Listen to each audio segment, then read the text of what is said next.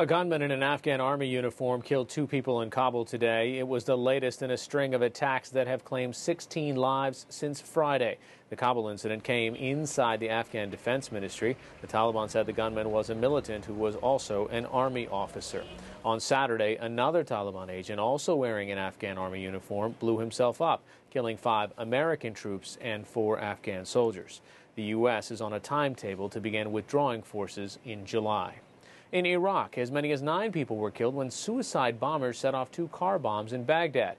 The attack happened right outside the heavily fortified green zone near a security checkpoint. The targets appear to be government motorcades on the road from the airport. In the aftermath, soldiers inspected the blast scene littered with charred debris. At least 23 other people were wounded in the attacks.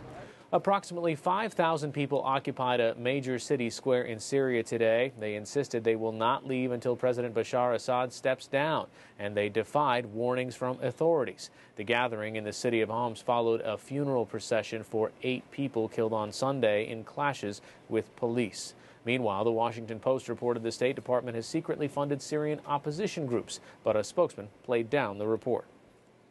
We are not working to undermine that government. What we are trying to do in Syria through our civil society support is to uh, build the kind of democratic institutions, frankly, that we're trying to do in countries around the globe.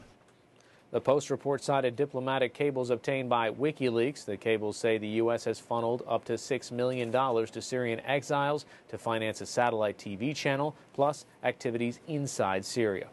The head of the Federal Aviation Administration defended his agency's overall record today after issuing new rules to fight fatigue. Randy Babbitt said he is infuriated by air traffic controllers falling asleep at work, but he maintained 99.9% of them are doing the job right. Babbitt spoke in Atlanta along with Paul Rinaldi, head of the National Air Traffic Controllers Association. Rinaldi said overall the system works. At the end of the day, we run almost a flawless system. Over 2 million passengers are moved through this national airspace system every day, and not even a bleep happens. But we have a couple of situations, and the ball's dropped, and all of a sudden we become a butt end of a joke. We don't deserve it, we don't like it, and we will stand together and fix it. On Sunday, the FAA issued updated work rules that give controllers an extra hour of rest between shifts. Radiation levels at Japan's Daiichi nuclear power plant are still too high for repair crews to enter. A pair of small robots reported the readings today. They were sent inside two of the facility's reactor buildings. The government insisted that despite the radiation in units 1 and 3, plans are still on track to stabilize the plant by year's end. Separately, officials said radioactivity has also spiked at Unit 2, indicating possible damage to spent fuel rods.